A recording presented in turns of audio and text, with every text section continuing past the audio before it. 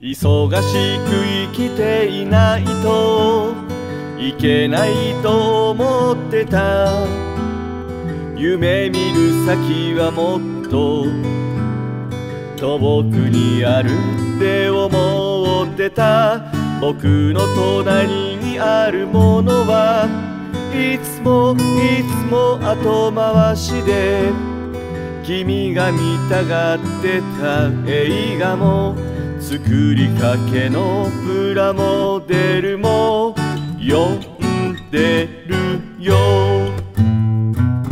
窓越しに見た桜は僕に知るべきことを教えてる。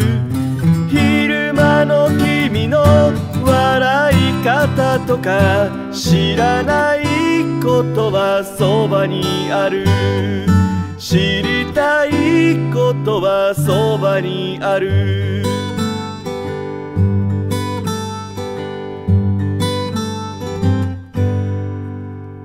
きちんとして生きてないといけない